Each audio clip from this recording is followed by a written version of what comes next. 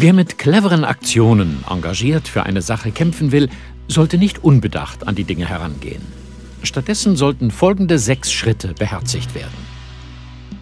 Erstens Ideen sammeln. In dieser Phase empfiehlt es sich, frei und ohne Schranken zu brainstormen. Da es sich hier um einen kreativen Prozess handelt, solltet ihr besser Ja und statt Ja aber sagen.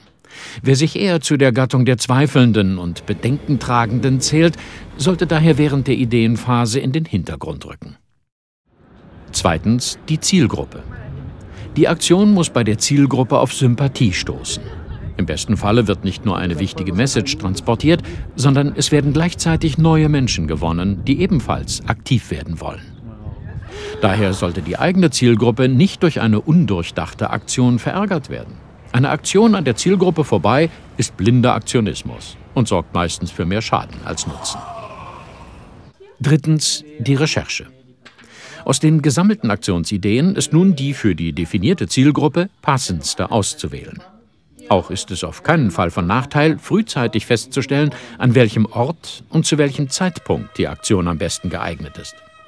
Denn man kann wohl festhalten, dass Bildungspolonesen in Schulen zu Ferienzeiten doch recht deplatziert wirken können. Viertens die Vorbereitung. In der Vorbereitungsphase sollte unbedingt geklärt werden, wer Materialien, wie thematisch passende Schilder, passende Kostüme oder ansprechend gestaltete Infoflyer organisiert und mitbringt. Wer die nötigen Kontakte, beispielsweise zur lokalen Presse, knüpft vor allem auch pflegt.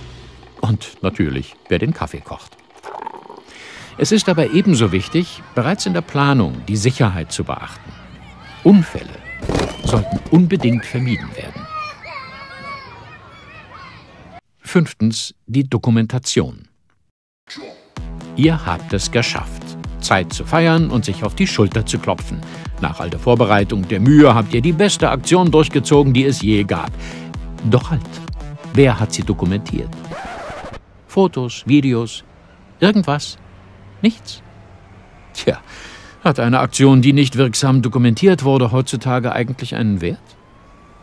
Sechstens, die Aktion. Am Ende nach all der Vorbereitung bleibt das Tun.